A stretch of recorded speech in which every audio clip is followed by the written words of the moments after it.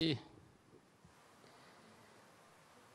राम बड़े लंबे समय से जिस प्रकार से एक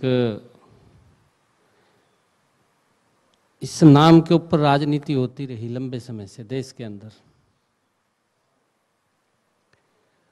और कहीं ना कहीं जो भगवान श्री राम, जो एक आस्था का केंद्र पूरे देश देश के साथ, पूरी दुनिया में जो भगवान श्री राम के अनुयायी हैं, भगवान श्री राम को मानने वाले हैं, उनके मन में भी कहीं ना कहीं इस बात को लेकर के एक शंका थी कि भगवान श्री राम की जन्मभूमि अयोध्या है। और उस को अभी तक मंदिर वो नहीं मिला, अभी तक भी टेंट में विराजमान हैं। और उसको लेकर के जिस प्रकार का एक वातावरण देश में कोई छोटा समय नहीं है, लंबी पीढ़ियाँ इसके अंदर गई 500 वर्ष का इतिहास। और उस इतिहास को जो अमली जामा पहनाया है, वो देश के यशस्वी प्रधानमंत्री आदरणीय नरेंद्र मोदी जी ने, उन्होंने कहा भी है, एक शब्द कहा उन्होंने उन्होंने एक बात लोकसभा के अंदर कही थी कि मुझे इस देश की चिंता है, वोट की चिंता नहीं है। कहीं ना कहीं लंबे समय तक अगर देश के ऊपर शासन संतर जो जिन लोगों का रहा, उन्होंने देश के अंदर वोट की चिंता की है, देश की चिंता नहीं की है। और उसका परिणाम ये निकला कि लंबे समय तक भगवान श्री राम और अब भव्य, दिव्य मंदिर जो अयोध्या के अंदर बना है, वो देश के 140 करोड़ लोगों की आस्थाओं का केंद्र बिंदु है।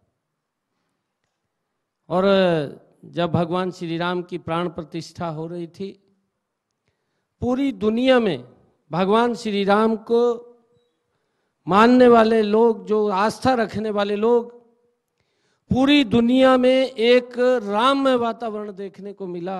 हर गली मोहल्ले, हर घर के अंदर एक राम का वातावरण था। लोगों में एक श्रद्धा, खुशी का माहौल था कि 500 वर्षों के बाद भगवान श्री राम दिव्य मंदिर में आज विराजमान हुए हैं, प्राण प्रतिष्ठा हुई है।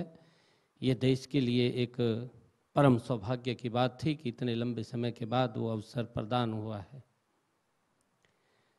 कई लोग इसके ऊपर लंबे समय से राजनीति करते रहे हैं। परंतु भारतीय जनता तो पार्टी के लिए भारतीय जनता पार्टी के लिए ये राजनीति का केंद्र नहीं है श्रद्धा का केंद्र है। और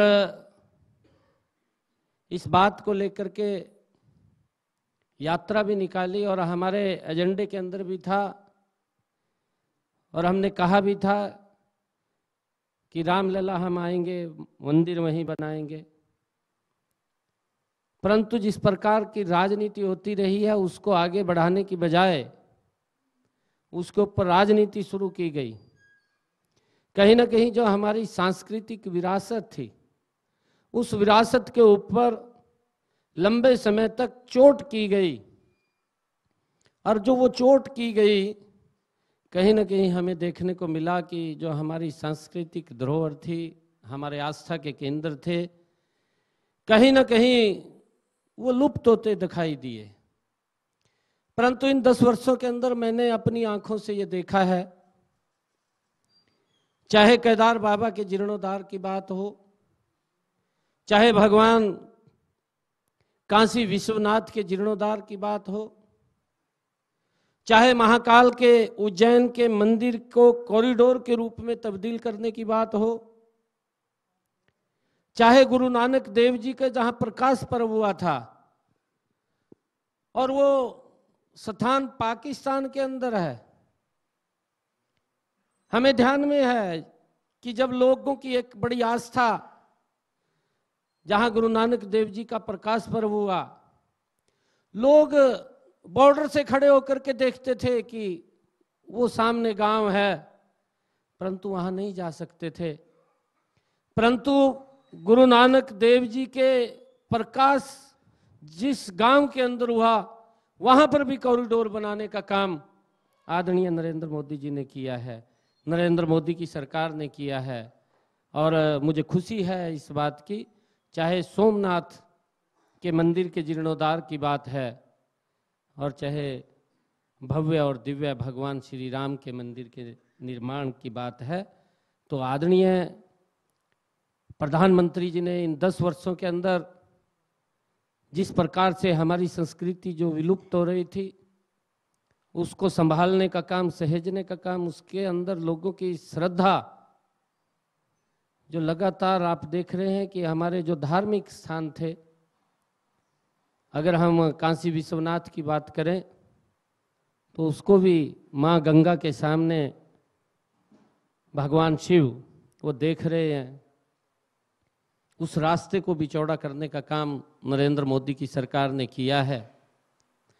मुझे खुशी है इस बात की, कि मैं कुरुक्षेत्र के अंदर जहाँ भगवान श्री कृष्ण ने गीता का संदेश दिया आदरणीय प्रधानमंत्री जी ने इसी कड़ी के अंदर उसको सहेजते हुए, उसका निर्माण करते हुए मैंने देखा है कि मेरे यहाँ पर भी जो महाभारत कालीन गाँव बन रहा है, अनुभव के अंदर का जिसका उद्घाटन किया, उसके दो, जो दो ब्लॉक हैं, वो चालू कर दिए गए।